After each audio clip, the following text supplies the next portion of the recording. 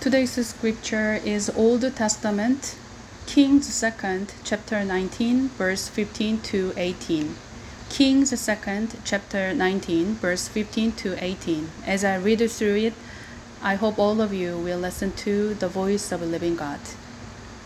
The Lord said to him, Go back the way you came, and go to the desert of Damascus. When you get there, anoint Hazael, king over Aram, and also anoint Jehu, son of Nimshi, king over Israel, and anoint Elisha, son of Shaphat, from Abel Meholah, to succeed you as prophet. Jehu will put to death any who escape the sword of Hazael, and Elisha will put to death any who escape the sword of Jehu. Yet I reserve seven thousand in Israel, all whose knees have not bowed down to Baal, and whose mouths have not kissed him. Amen. The title of today's sermon includes English words of burnout, even in the Korean title. The word burnout has becoming very popular word these days. In particular, given the context of today's sermon, I decide to keep it as it is. Please bear with me. Burnout has become so popular that it is included one of Korean words. According to the National Institute of Korean Language, it defines it is uh, the state of mental and physical exhaustion after an activity is over, or a state of psychological and physiological exhaustion due to inability to release accumulated stress due to overtraining or the game or work does not go according to the plan. The term burnout was coined by New York based psychoanalyst uh, Freudenberger. It means to be destroyed by fire. And there's a term called burnout syndrome in psychoanalysis. So the burnout syndrome is kind of uh, uh, well known. It can be also referred to exhaustion syndrome or tiredness syndrome as well. We take vacations from time to time. Why is it? It may be because we want to keep our body and mind healthy before burnout we need to take a break to work and we can keep our efficiency high. If you are burnout or exhausted, you can't work, and even though you are able to work, your efficiency might be pretty low. So you need to take breaks from time to time to keep your body and mind healthy. In fact, we often see burnout people around us. I think you may yourself experience the burnout once or twice in your lifetime.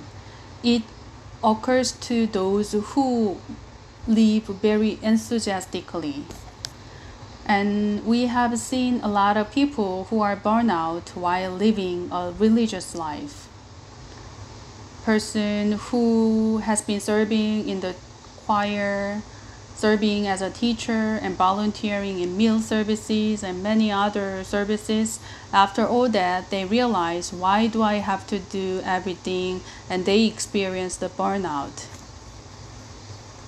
And at your work, maybe you have a very very enthusiastic enthusiastic to be useful and helpful for the company but after a long time you realized and you feel like you are the only one to work hard and become lethargic.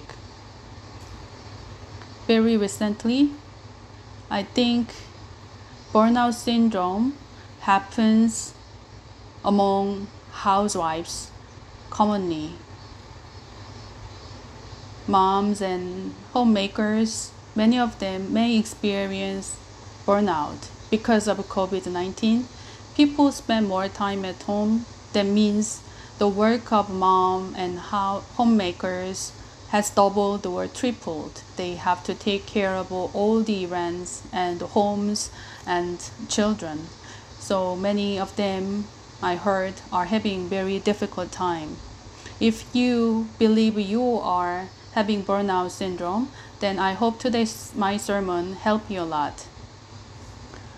Maybe because of COVID-19, the, those who uh, serve for the church a lot may have a little more time for themselves.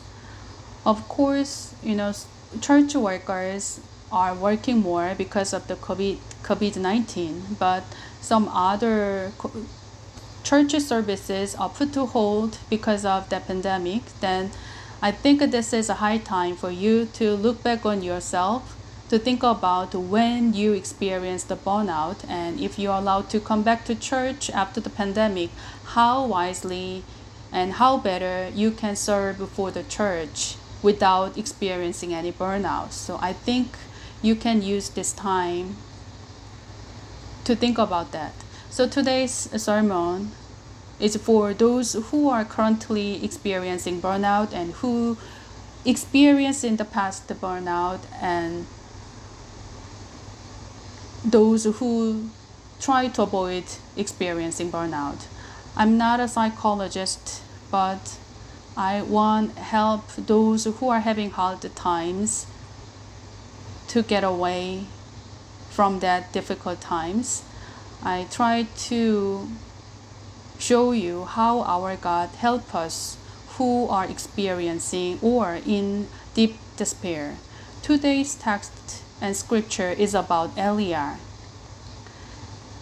I think when it comes to Eliah, you may think of the white broom tree, and under that tree, our Lord fed him and make him stand up again. You know, maybe all the characters in the Bible, Eliah is the one who experienced one of the deepest despairs. So his story gives a lot of lessons to us. So let's read today's scripture from the perspective again. Eliah didn't appear a lot in the Old Testament. He appears intensively in the first and second Kings, but we can't find him a lot in the other Bibles, unlike Moses, who appeared here and there many times. However, to Israelites, Eliah is a key person. He's very important.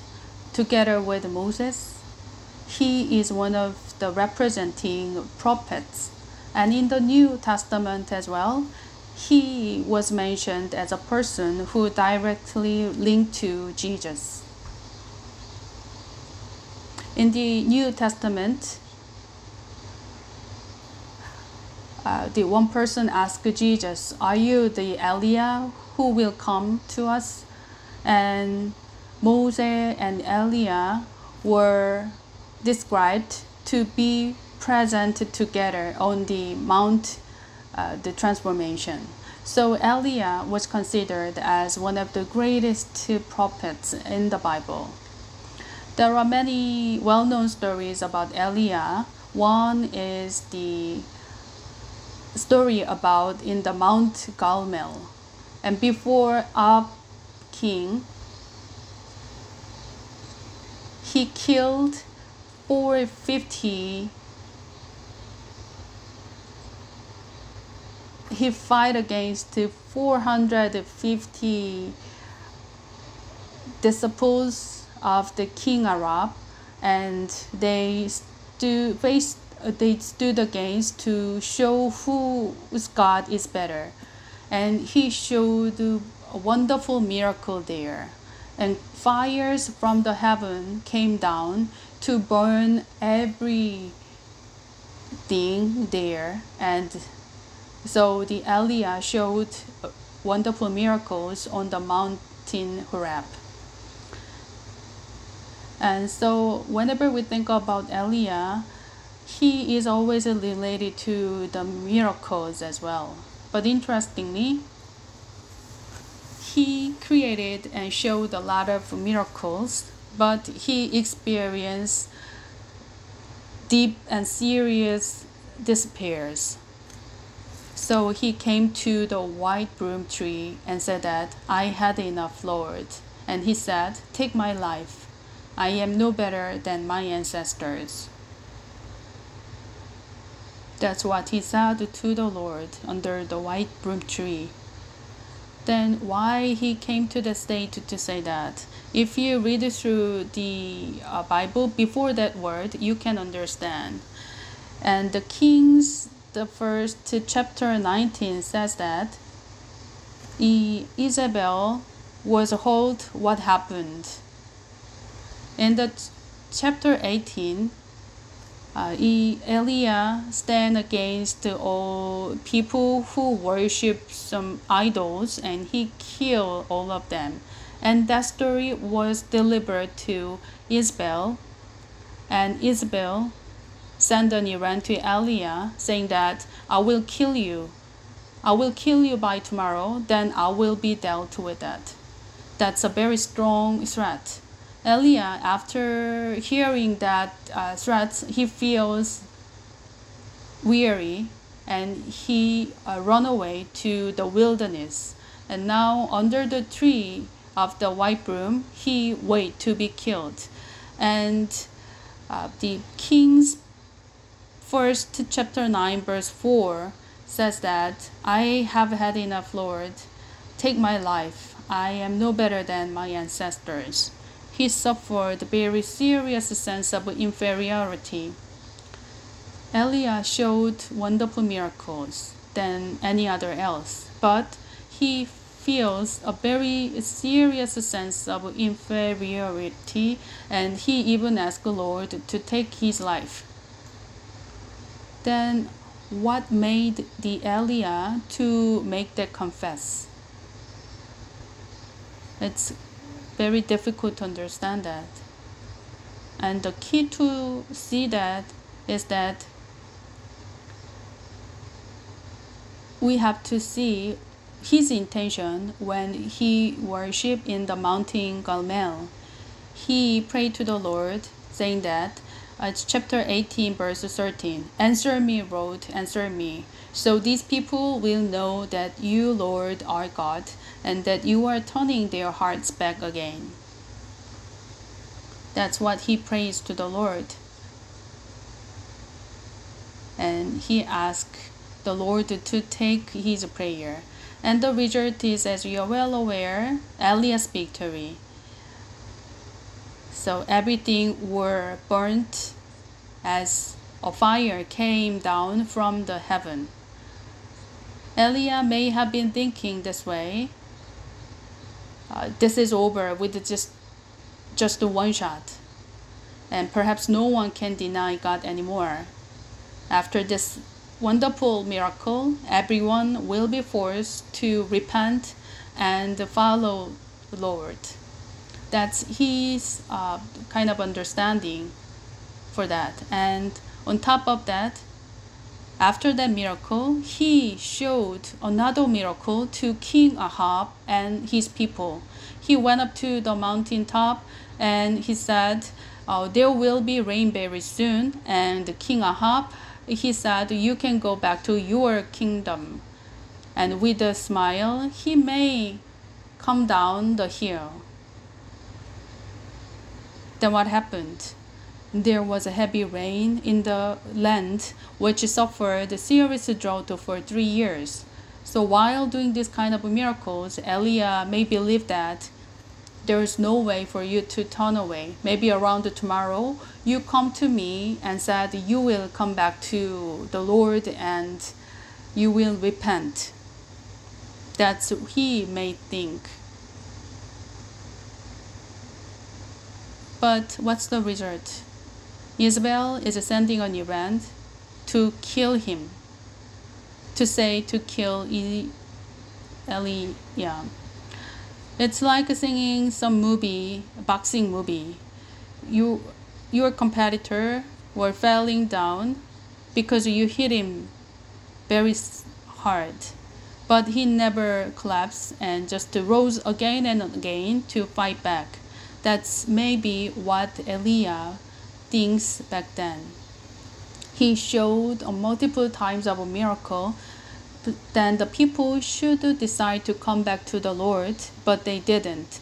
They just uh, zero in on, on the contrary. And they say they will kill Elia. Power comes under pressure, so Elia feels a sense of despair.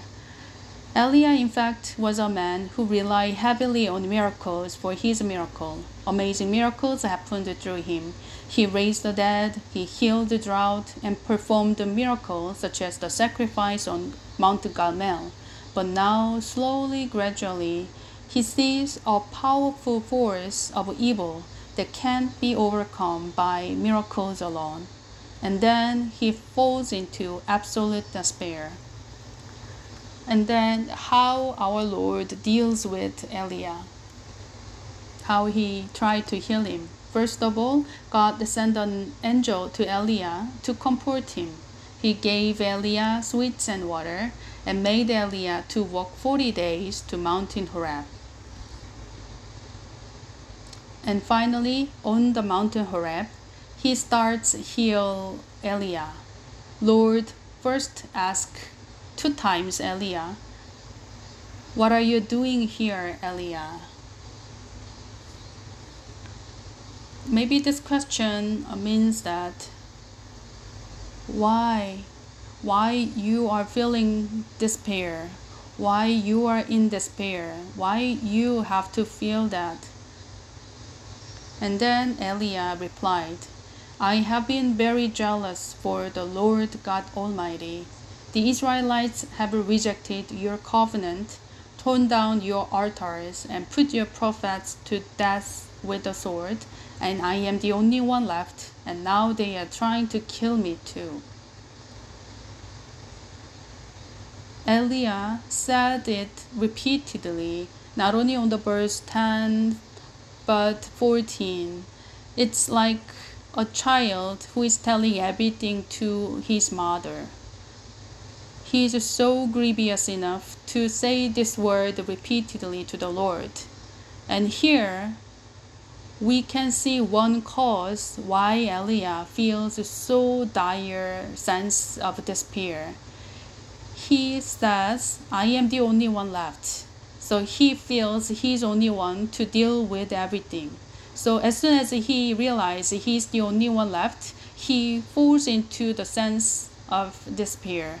You worked hard, you have been doing everything, but you just realize I am the only one who is doing this work, and now you have disappear and afraid.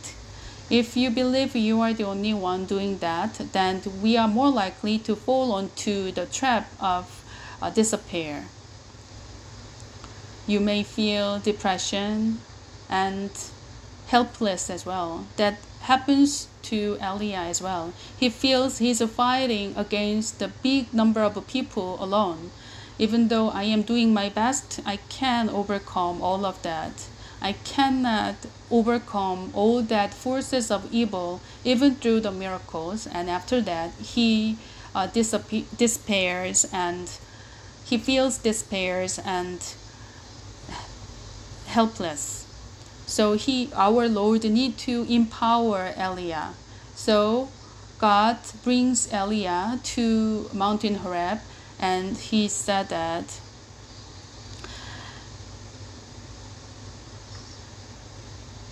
The Lord said, Go out and stand on the mountain in the presence of the Lord, for the Lord is about to pass by. Then a great and powerful wind tore the mountains apart and shattered the rocks before the Lord. But the Lord was not in the wind. After the wind, there was an earthquake, but the Lord was not in the earthquake. After the earthquake came the fire, but the Lord was not in the fire. And after the fire came a gentle whisper. God established Elia on Mountain Horeb. And on Mountain Horeb, just like Moses felt God passing by, he put Elia in a situation to experience similar uh, miracles. This is very similar what happened in Exodus 19. On the mountain Horeb or Sinai, God came down with fire and wind and earthquake, and these elements were similar to the situation where Moses met God on Mountain Horeb earlier. He met Moses in that shape two times. Whenever that happens, a Lord was there. And when God met Elijah, he met in the same way, in the same shape, in the same place, but he was not there. Elijah stood on the same place as Moses stood before, but the experience that Elijah had was different from the one of Moses. There were winds, earthquake, and fire, but there was no Lord. What does that mean? What, how we have to interpret that? Is it is it meaning that you are less than Moses? You are a different level of Moses? the more important thing is that when our Lord shows wind and earthquake, sometimes the Lord was there, but sometimes Lord was not existent. That's what our Lord want to say to Elia. Whenever you experience a miracle, there was Lord, but that's not the case. Whether there is a miracle or not, the Lord can be there or not. And he asked that, What are you doing here, Elia? What does question mean? The first question was about why you feel despair, and this time, this question means that why you always look for miracles. The miracle is the only thing you try to look for, you try to seek. Why you seek only the miracle? So far, Elijah has been working largely through miracles. He was a man of miracles with a passion. But what we learned from today's scripture is that performance or miracle and the results are not the only things that are important. Elijah have have been largely reliant on the miracles, but our Lord want to open a new perspective to Elijah. And now he gives his prescription to Elijah. He said, Go back the way you came and go back to the desert of Damascus. When you get there, anoint Hazael, king of Aram, and also anoint Jehu, son of Nimshi, king of Israel, and anoint to Elisha, son of Shaphat from Abel Meholah, to succeed you as prophet. And he add one comment more. Yet I reserve seven thousand in Israel, all whose knees have not bowed down to Baal, and whose mouths have not kissed him. Elijah said he is left alone, and to Elia, the Lord first said that you are not the only one. There are still 7,000 people left out there. You are not alone. Do not think you are the only one to work. You are not the only one who bear the burdens. This is not done by your will and your power, but by His will and His plan. That's the message of our Lord to Elijah. And what is the meaning of the prescription that Lord prescribed to Elijah? Well, actually, I don't really understand why God is saying these words to Elijah, who is desperate and burnout. But his word includes some key essence and key lessons. What is hidden behind that? First of all, God tells Elijah to raise up people. That's the first command to raise a people and let them work together. Then one if one falls, another can stand up and to build it up again. So you need to build up and raise up people. Do not consider you are the only one left to work. Do not work alone. Let and learn how to work together with others. Jehu will put to death any who escape the sword of Hazael, and Elisha will put to death any who escape the sword of Jehu. It's amazing. It means if Hazael does not work, Jehu will do it, and if Jehu fails to work, then Elisha will do it. Do not try to work alone. Do not monopolize. Learn to work together uh, raise up people and also it also means not to be afraid or embarrassed to get help. Work together and learn how to work together. That's the message of our lord. And the second key message is that Elia should not rely solely on miracles but be faithful to the prophet's mission. God tells Elia what to do as a prophet the command is to make Hazael king over Syria, Jehu as king of prophet, a king, excuse me, Jehu as king over Israel, and Elisha as a prophet. So this is the mission of a prophet. So no longer he doesn't want Eli Elia dwell on miraculous ecstasy and to go back to the task assigned to him and do it faithfully. Instead of focusing on the overflowing work, such as killing the priest of Baal and Asherah, uh, return to original work given to him. When Lord called Elia, he asked him to go to the king Ahab and he also said that I will give them rain. And he didn't say anything else except that. But nevertheless, Elia met King Ahab and he put giving rains behind and he just started doing what he wanted to do first. He fight against the priest of the Baal and Asherah. He wanted to show miracle. And this was the voluntary work but that was not the command of the Lord. That's not the order of the Lord. And after doing that, he falls into despair and depression. And here we see Elia who experiencing a deepest depression, and now our Lord asks him to go back to the daily lives and do faithfully the missions given to him originally as a prophet. Then finally, did Elia properly understand and practice God's words?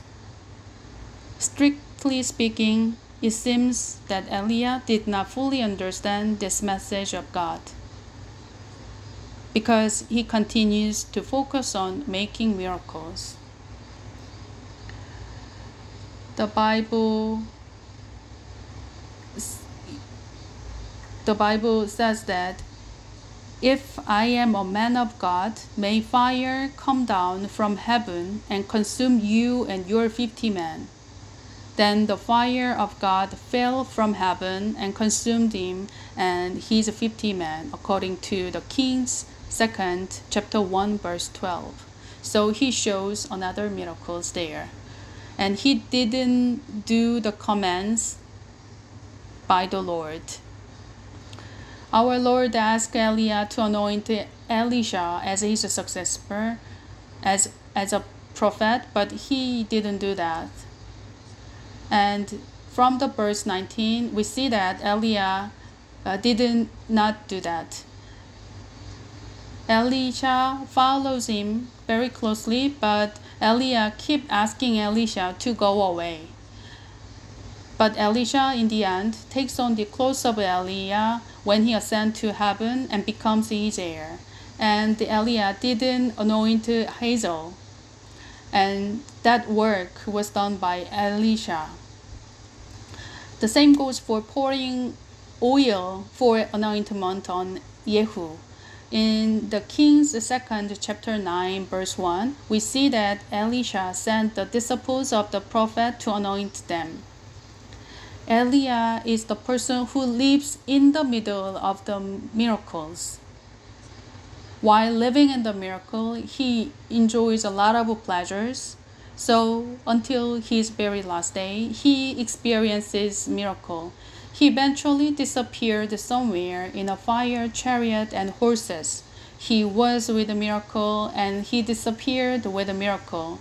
But he never get back to the daily lives and are not satisfied with minor and uh, personal missions. So finally, he disappeared in a fire chariot and horses. Literally, he was burnt out. At the end of his life, he was burnt out. What kind of life do you want to live? Raise up people and learn to work with them and go back to your little calling, your duty, and do faithfully the work given to you. That's today's message. I hope this message help all of you who are experiencing burnout today. I hope it gives you power and wisdom for you. Let's pray. God, have mercy on us who are weary, and thank you for showing us the way to live today through the story of Eliah. Let us turn away from me alone and learn to work together. And help us to enjoy the importance of daily life and small callings. I pray in the name of Jesus. Amen.